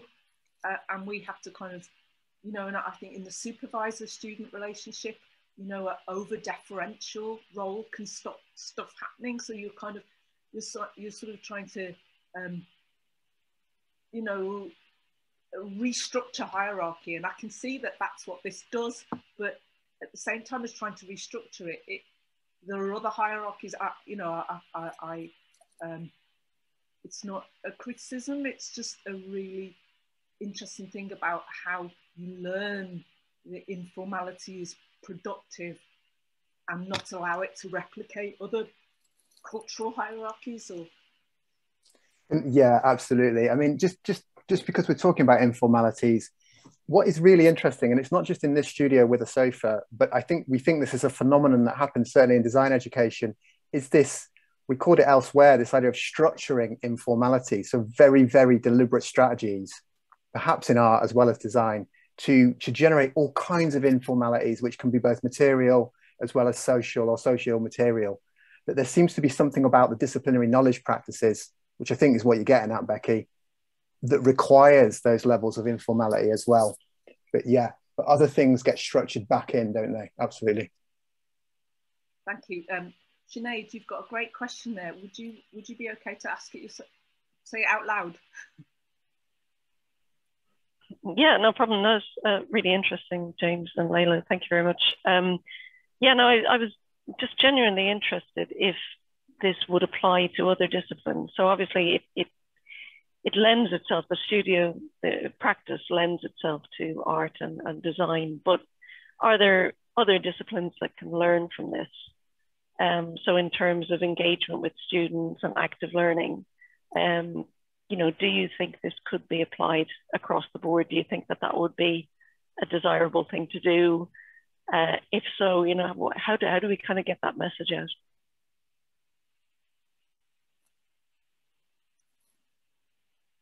Go on, you can go. Okay. Um, I, I, I mean, I don't have a have definitely seen a paper, Sinead, where something not dissimilar to this was applied. I can't remember whether it's educational studies, it might even have been maths. I mean, even our even the maths department here at Sheffield Hallam employs a studio teaching method. So, you know, there, there are kind of like, yeah, I'm sure there are examples.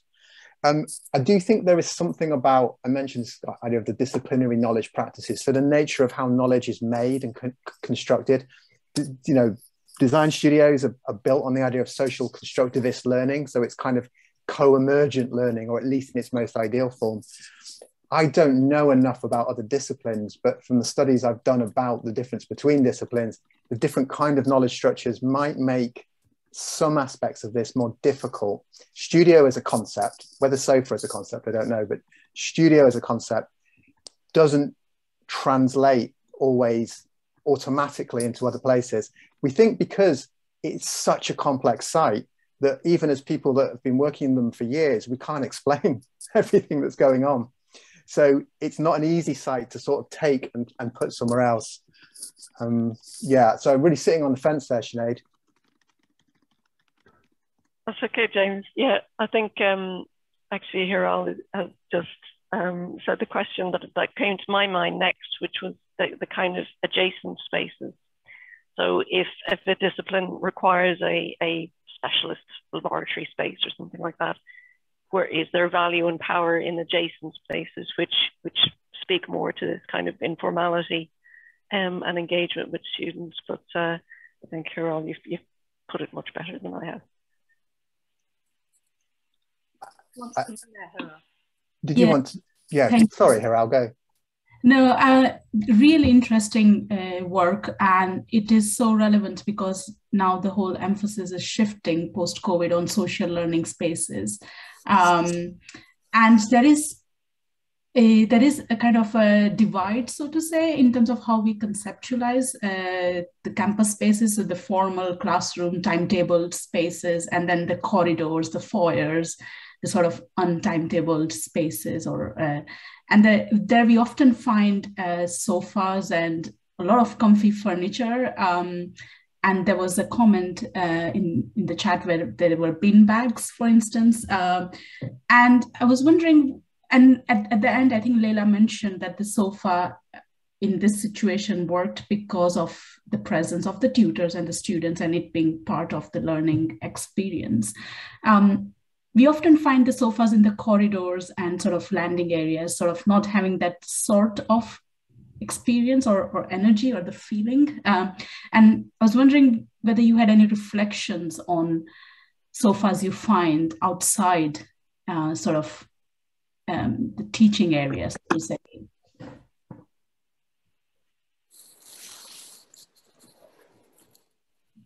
while Layla's thinking, I can see Layla's thinking really hard about that. Um, I I, uh, I read a fascinating paper which talked about the concept of lounge space as the kind of like the most ubiquitous slash terrifying concept that's sweeping through. Uh, I think the Western world, I think, is how they kind of judged it. It's like the, the emblematic 21st century concept. That was it. I'm not saying sofas in corridors are necessarily lounge space, but I don't really feel qualified personally to speak about how they work.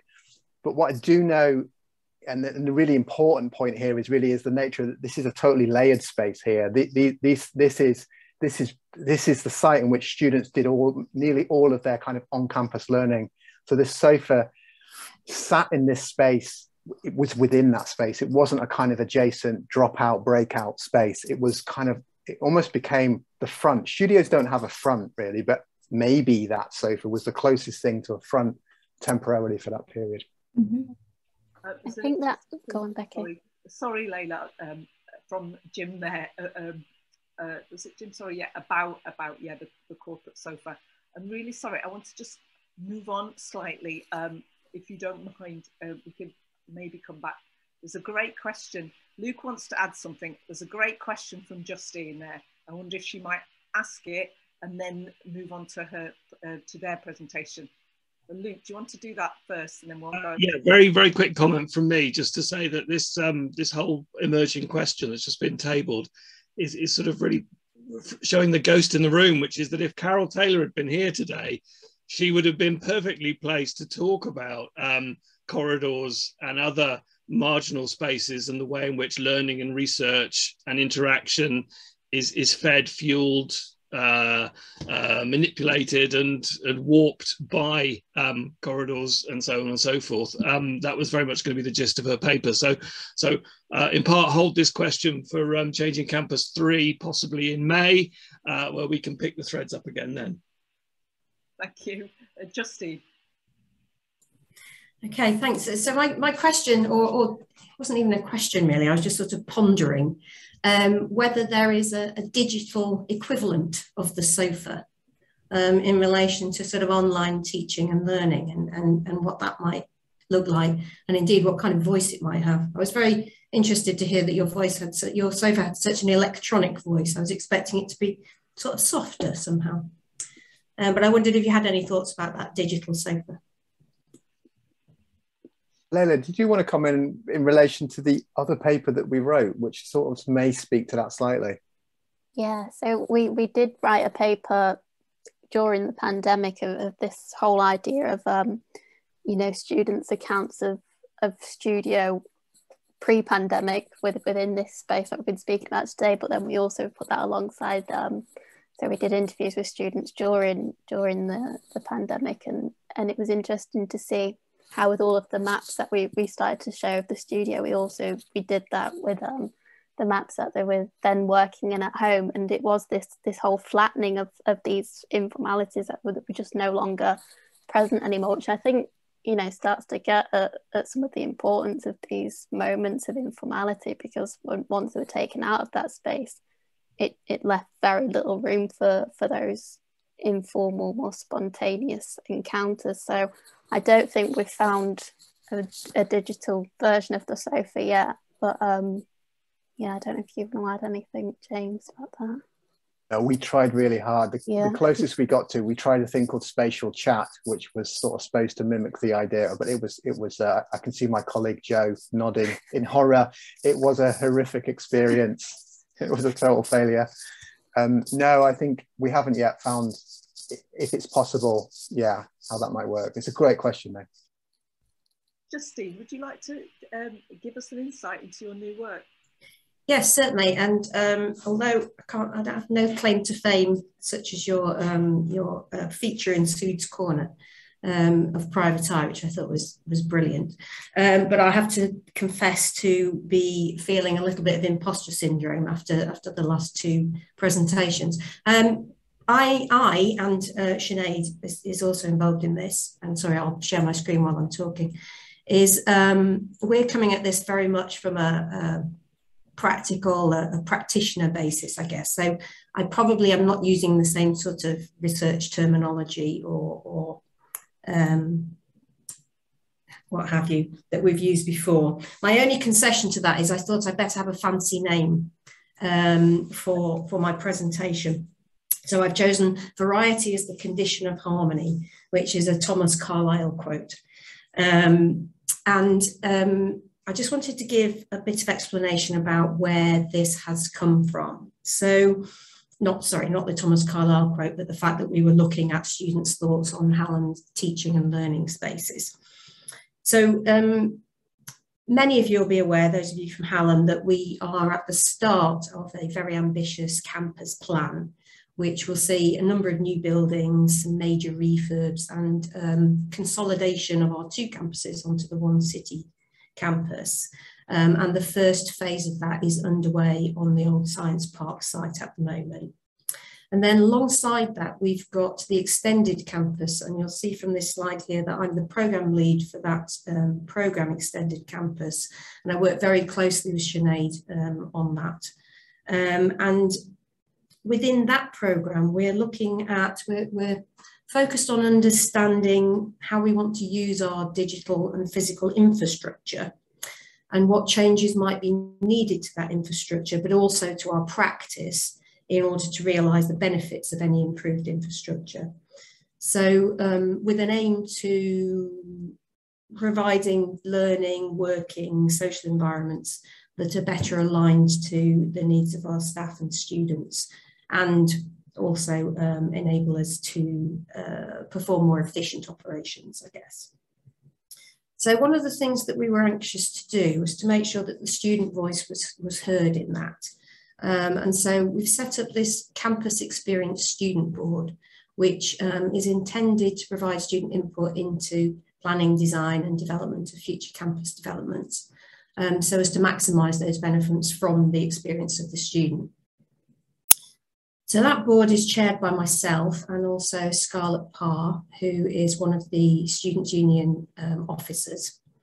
And we've got nine students on that board who we've tried to, as far as possible, get a mixture of levels of study, modes of study. We've got international representation, commuting students.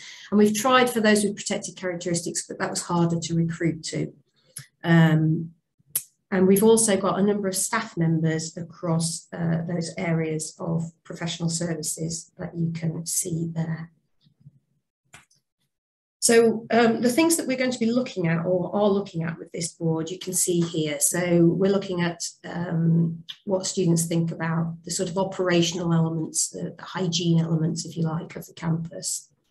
the teaching and learning spaces, what works and what doesn't work. Um, our next session is looking at the campus plan itself. And then we'll be looking, we'll be focusing in more on catering and campus services. Um, what we've called the sticky campus, which I recognise is quite an outdated phrase now, but is one that resonated with the students actually, which is why we've kept it in our communications with them. And then also looking at the student digital journey. So in order to, we were, I was really interested. I didn't make it to your last session, but I am halfway through the recording. And I was really interested to hear the um, presentation from the person from UE. Um, and in fact, as I, as I was listening to that, I thought, oh, why on earth did I not think of using Instagram? That would be a brilliant idea. And then as I went further through that presentation, I noticed that she said the students really didn't engage in Instagram at all. So that was really interesting.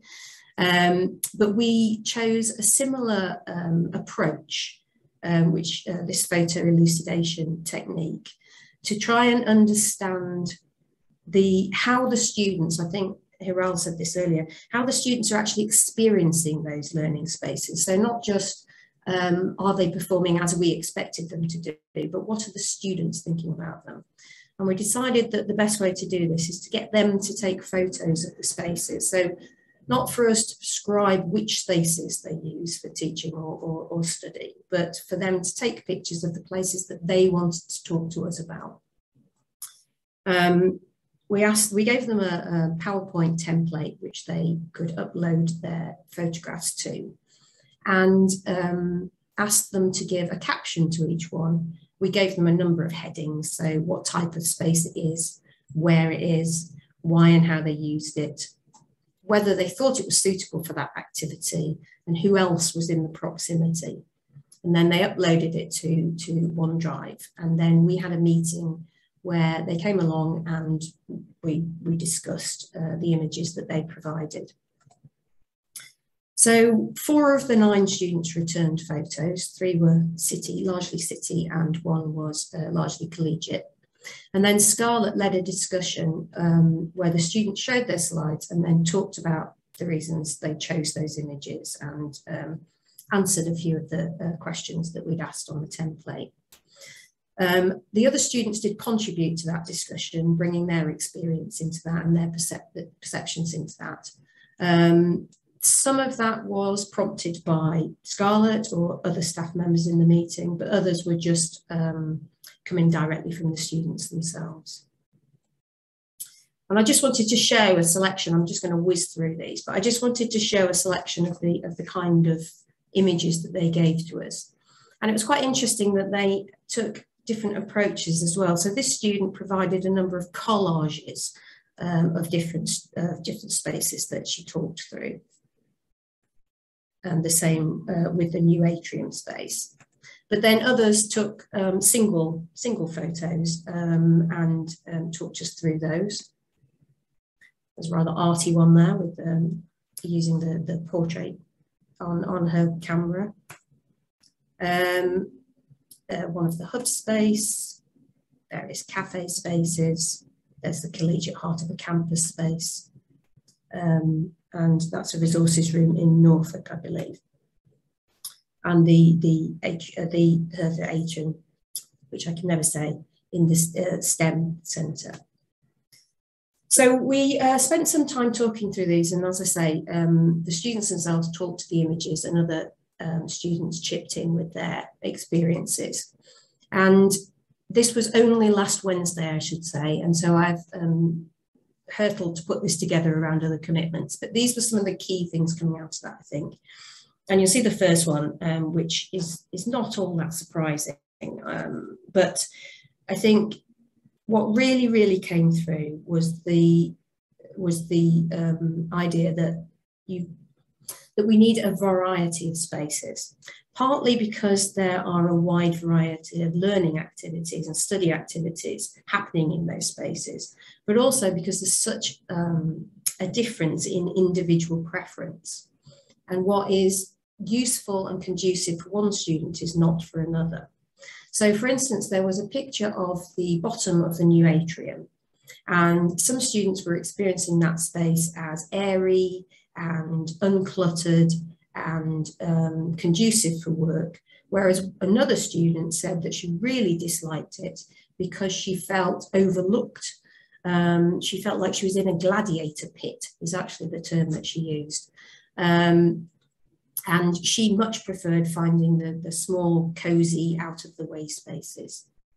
Um, we had other students who said that um, what was important to them was absolute quiet. So they really needed that, those sort of quiet spaces to, um, to concentrate in. Whereas others said they found it really hard to work in quiet spaces and they wanted some sort of bustle and background um, noise in order to study effectively. Um, I think we just touched on this quite a bit in the last presentation, but this I've, I've called them in-between spaces. So these are those spaces we were talking about, about sofas in the corridors or, um, you know, small booths in, in various out of the way places. These were very, very popular with the students and um, they would like to see a lot more of these spaces on campus where they can just touch down. Um, but sorry, just jumping one down, but if we were to provide more of those spaces, we would have to ensure that we had good wireless um, connectivity and a ready power supply. Um, obviously access to various re resources. So um, this included things, so especially software and equipment, uh, facilities like printing, but also staff. So um, in a number of spaces that we looked at. The presence of academic um, staff was incredibly important, um, but also the technical staff, that, that came up time and time again. Having access to the technical staff was really key to, to some students' ability to study, and also the library staff on, on hand to provide expertise and support. Um, so I think, um, uh, sorry, just moving on a bit. So um, the conducive environment for study was also uh, things like the temperature. Natural lighting came up time and time and time again. Um, students were saying that they are able to concentrate far better in natural lighting, or conversely, uh, we had some pictures of um, some of the rooms in EMB, uh, and the students were saying that they, they tired quickly and they lost concentration in those rooms where there's no natural lighting and it's all artificial light. Cleanliness came up several times as well, um, and safety. So a sort of psychological safety, I think, as well as personal safety. So I think um, when, when talking about cafes, several of the students were talking about um, the presence of other people, making them feel safe, making them feel motivated. Um, one of them mentioned that working with unknown students and staff around them helps with their motivation and productivity. So I thought that was very interesting observation. Uh, and one of the things that came out of this is that the students would find it very helpful to know the totality of spaces across campus, which I guess would be quite difficult if we were talking about developing more of those in-between spaces. But um, being able to know what spaces were available, what facilities were in those spaces and what kind of environment they might find within those spaces. Um, and then how they would find them. And I think that was particularly useful for um, first year students who haven't necessarily got the same um, knowledge and understanding of the campus. And then we began, but didn't finish, we ran out of time, but a really fascinating discussion about whether um, spaces should be discipline badged or open to all. And I think that led us into a kind of discussion about how spaces make people feel uh, that they belong and um, reflect their identity, uh, as opposed to how that how having all badge spaces or how particularly badge spaces might therefore lead to excluding others from their use. Um, and the other way we looked at that is um, whether you had permission to go into those spaces or needed permission to go into those spaces, or whether you felt there was a prohibition and those spaces were not for you. So I think there's a, a considerable amount of, of, unpacking that we'd like to do in that area. So um, we are using this information to inform estates campus planning. But we're also feeding some of this into extended campus program projects. So that wayfinding, that um, learning commons, we've been calling it description tool and wayfinding may well find itself into as, as a project in extended campus. But I was also reading in Wonkhe, and I, I don't know if other people saw this, about the um, report, Campus Space and Places, Impact on Student Outcomes. And there was a call there um, for people to, uh, to get involved in, in the next stage of that project. And Sinead and I were, were just at an early stage of discussing how we might possibly contribute to or, or benefit from, um, from that project. And then sort of a call out to people on in, in this um, event really as to whether there is uh, whether there's interest in partnering on some form of um, internal research project um, arising from some of these studies. So as I said, that was a, a massive canter through. Uh, it was very rushed, um, but I hope that gives a flavour of where we have got to so far. That was in incredibly interesting, Justine and it uh, really, you know, it picks up some of the connections with um, uh, Harriet's work last time, um, and um, so, um, but also pulls at it in different ways through some of the, the, the language that you've used to summarize. You know, just using permission um, and that and prohibition. Uh, interesting, stronger words than Harriet said. Um, I really helpful and really interesting. So thank you very, very much. It's great you were able to come. Um, we are getting tight for time. I don't want to run over, but I'm really keen to see if anybody has any questions for Justine or wider questions or things you'd like to pull out. Uh, Jason. Yeah, I was going to ask about, you know, I've noticed, you know, around the university, a lot of the cafe outlets have closed or been closed through COVID, and they don't seem to be opening up as we start to open up. Open up, and I think you know, being in those environments where it feels a lot unsafer because there isn't anyone around that's been pulled out in that. Are those places going to be opening up because they, you know, they sort of double up as security as well as a social space? Will will more of them become back into general use, or what's happening with buildings around that? Because it's slightly worrying about how buildings have just been areas where people transition into and out of, and there's nothing going on to keep people within that environment. I think that's a really, really great question, Jason. And I think um, it's one of the things that we would like to see a bit more sort of holistic thinking about. I think that there's a tendency sometimes within the university and, and for good reasons, but to just look at cafe outlets outlets as um, as a as a commercial operation. Yeah. Whereas in actual fact, we know that they're much broader than that. We know there are places where people want to congregate and meet. And the students um, frequently say that they like to work in university cafes, and this might this might show the, the tension, but they like to work in university cafes because they feel they belong there and they don't feel the need to have to continually purchase as they might if they were working in a, in a cafe off campus. So you can see there that there's a there's a tension there with the with the commercial need to for, for the outlet to kind of um, wash its face, if you like. But I think if we could I think I think if we could take a different view towards these kind of outlets and see their multiplicity of use, then we might take a different approach to how we evaluate their success, I guess, not just a purely commercial basis. But um, but I don't have an actual answer to your question, Jason. Uh, I mean, that, I that's just something we need to we need to keep discussing. I mean, that's fine. I mean, because the other thing I noticed is that, that one thing I, I've missed going back on campus is that all the informal conversations I had with staff, especially when I was based in Stoddart, and all that knowledge you built up, that, you know, that informal capital has also disappeared. And you can't quantify that through any mm. sort of metrics. And, but I think it's so value, valuable to the university experience absolutely. I've just experienced it myself. I'm in Furnival Works today. Yeah. Um, I've just bumped into a colleague that I haven't actually met in person because he joined, you know, during the during the pandemic, and we've just had a brief chat. And I've re- I've worked. I've found out he's doing his dissertation on hybrid working, which is a part of our extended campus plan. So we've agreed to meet, and you know, but I wouldn't have known if I hadn't walked in today. No, brilliant. Just a comment. Um, uh, I um, um, I have seen some really interesting, independent in, in, in, different departments about what it means to reoccupy.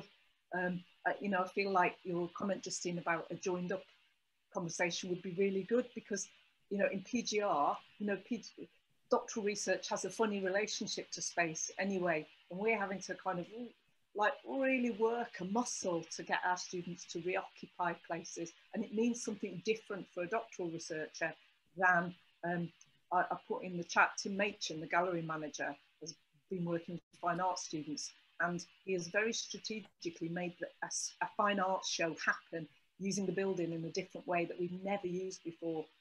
And he talks in this really good exhibition text about the problems, what it might mean to reoccupy.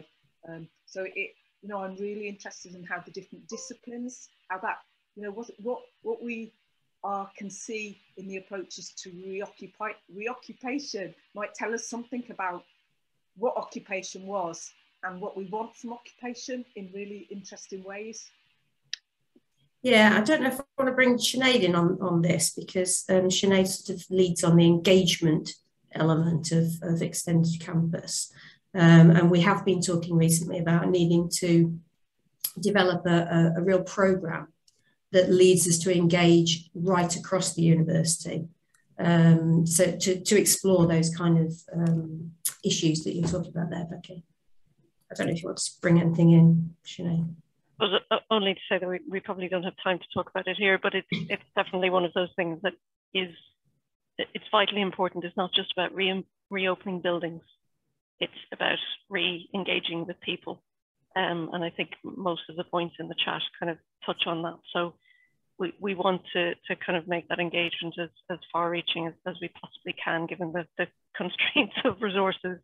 Um, and to Pamela's point, to include um, groups that are normally overlooked, including disabled staff and students, and um, make sure that people are, I suppose, in, engaged in a way that is meaningful for them.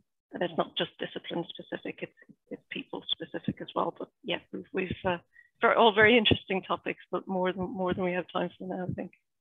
Pamela, did you want to come in there? Because I'm, I'm really curious to know whether you're talking about the reoccupation of campus and disabled student experience. I think it's the whole thing. I'm a disabled member of staff, but I'm also a student, uh, you know, doing my doctorate. And I think what became very, very clear from lockdown onwards was the complete difference in the, in, of experience of students versus staff. Now, as a student, I get a specialist chair put in a room when I'm in class. As a member of staff, when I'm timetabled, I have repeatedly been put in a class with no chairs, expected to stand for six hours straight teaching, with no area to go to because most of the cafes are not disabled friendly. They've got chairs with no backs, they've got wooden frames, they're not comfy to sit. So my experience is actually as a member of staff has been horrendous in lockdown. Um, I'm still waiting on a specialist chair at home two years later. And I've had two lots of surgery now because of the damage to my spine. And my MRI scan before lockdown to what it was just before Christmas there shows that I have actually got damage to four more discs simply during lockdown. And that in itself to me has has caused more problems than than not. So for me, I think yes, it's lovely when cafes look very you know, appeasing visually and they look very trendy. But when you're actually discriminating against people being able to sit and use them for some people like myself with spinal problems, that then becomes a problem. It's it's simple things that people don't think about. It's where you plug your laptop in. It's too low for somebody that's disabled or in a wheelchair to bend down to get to it. So simple things like that can cause major, major problems. And for me, there's no joined up process at the moment. And I've even, even just last week, I've discovered my department has been relocated to a different building. which means I'll be the only member of staff in my department that won't be with my department because of my disability. So that again is discriminatory practice simply by decisions with people not considering the thing. And what I commonly get said, what's commonly said to me is, well, you're the minority. There's only one of you, there's more of us. And and to me, that in itself is is not good if you see what I mean. So for me, when we're looking at things like that, it's about the inclusion of everybody. And I wouldn't want to think that I discriminate against a student. Do you know what I mean? But it's worse when the, the, the journey is different between staff and students as well, because then you get disparity and there's no there's no joined up thinking. Yeah, I, I don't know what other people's experiences. I know in the staff forum, the disabled staff forum, some of us are getting really good experiences and our departments are really well supported. But there's others that are having such a bad experience where there's no joined up thinking across the board, if that makes sense. And that's that that causes problems in itself. I, I was just about to ask you about the, the staff network actually, because we we are trying to engage through those staff networks um, but perhaps, I mean, obviously we, we've run out of time here, but perhaps we could pick some of this up outside this meeting, Pamela, just to, because I am interested in the discrepancy between the, the departments and the experience that people in different departments are, yeah. are finding. I think it also really connects with something Hiral said at the beginning about, about how ways of understanding experience do not connect up with places where change can happen. Uh, I think uh, you talked about estates not being included in certain processes. Um, I am going to wrap up um, because I don't, you know, I want to sort of not be sitting here for much longer. Um, so it, thank you all so much for coming. Thank you for those brilliant presentations. All three of them really insightful, uh, absolute delight. Um, I hope you will all join us for Changing Campus 3. So watch this space. Um, uh, so unless Luke, you want to add anything? Uh, he's been conspicuously quiet, very out of character. Um, I, um, I, I will close. So thank you all so much. Uh, absolutely brilliant afternoon.